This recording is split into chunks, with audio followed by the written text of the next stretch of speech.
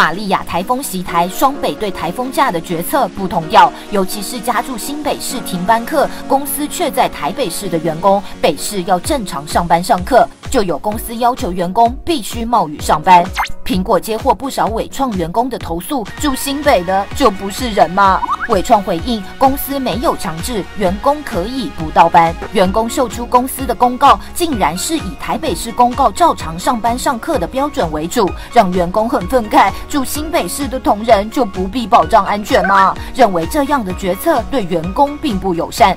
伟创则回应，依据劳基法，员工可以请休台风假。